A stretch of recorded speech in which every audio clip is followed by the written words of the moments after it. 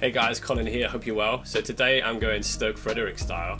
So I've got my shades on, I've got my headphones on, I'm in my crib here, and I'm going to give you a little uh, video, a bit of an introduction into getting started in cybersecurity. So I'm going to talk to you a little bit about my journey uh, into cybersecurity, what that kind of looked like, uh, and also more importantly, some tips for you if you're trying to break into this industry, uh, the kind of things that you can uh, get involved in, um, so you're kind of prepped and ready to uh, to approach organisations looking for employment, looking for maybe a change of career, or maybe you're expanding and developing your own career.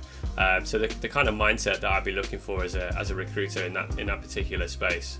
So, what kind of stuff can you do in cybersecurity? Well, to be honest with you, the field is just massive. If you look at information security in general, not just cybersecurity, there's tons of stuff going on, uh, right from technical to non-technical uh, areas of specialism as well. My area of specialism, as, as, most people know from my YouTube channel, is malware reverse engineering.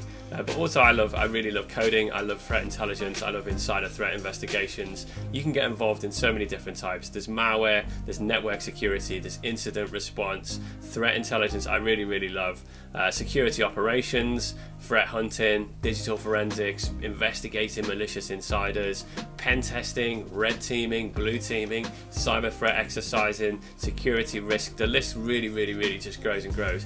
Organizations nowadays uh, are really investing in cybersecurity. It's great to be involved in this community, have some skills, at least have some knowledge of what's going on in the in the industry as well, because that will definitely help your career. No matter what it is that you're doing in a business, you'll definitely have a cybersecurity element to uh, to what you're doing.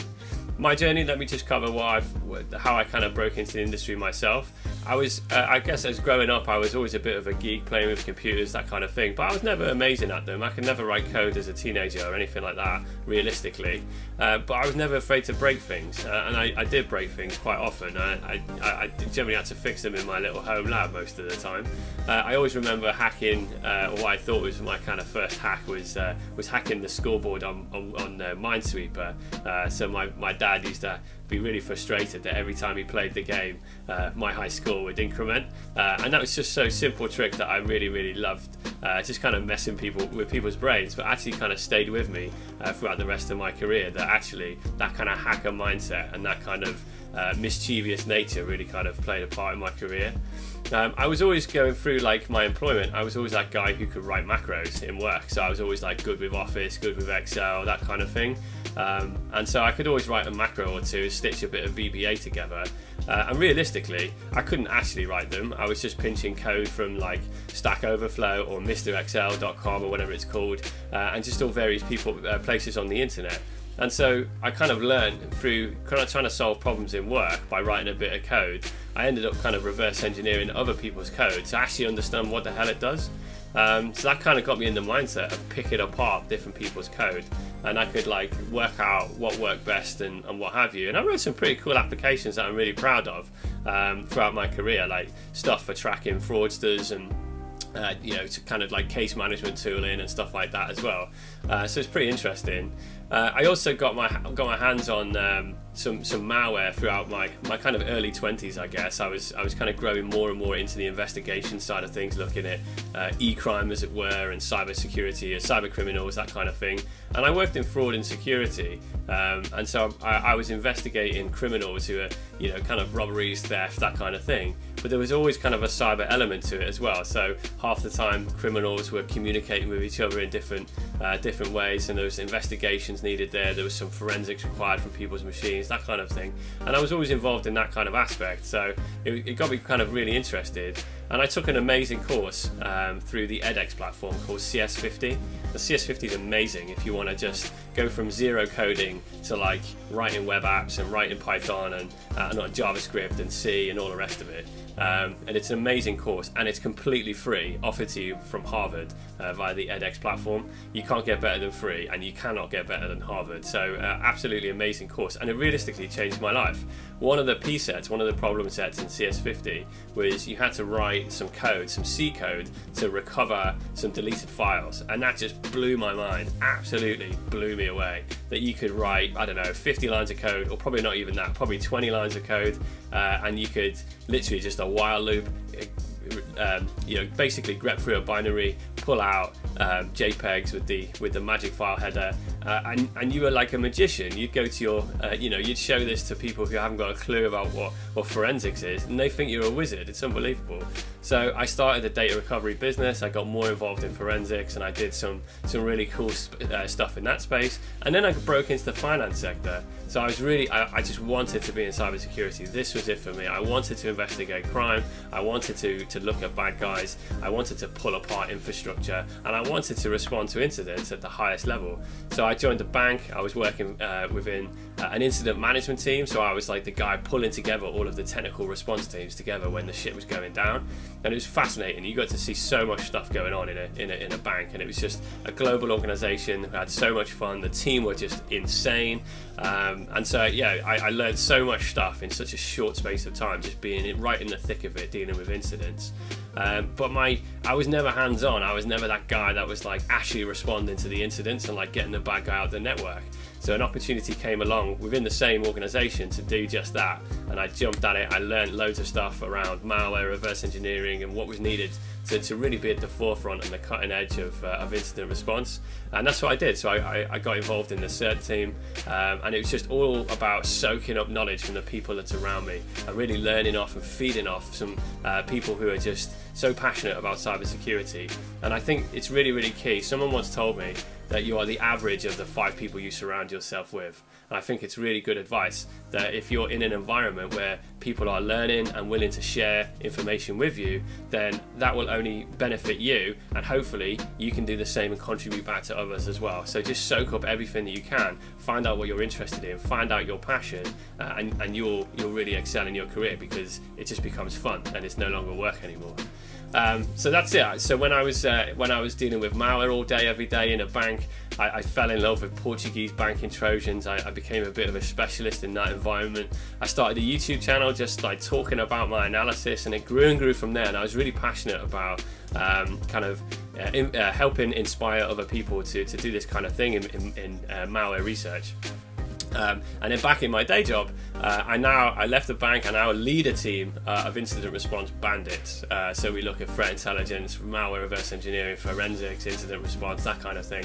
And I, I have the most fun because we really really focus on, on, on threat hunting. So it's really cool. Um, so like I say, there's something for everyone in cybersecurity.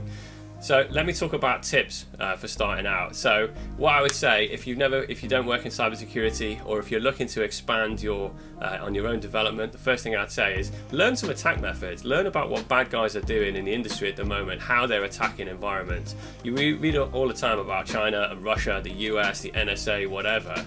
Um, go read some really good blog posts from like FireEye, from Cybereason, uh, from uh, all of the kind of researchers as well on the on the internet. There's some you know high level stuff and there's some really really low level in the weeds you know pulling out malware and IDA Pro kind of blogs.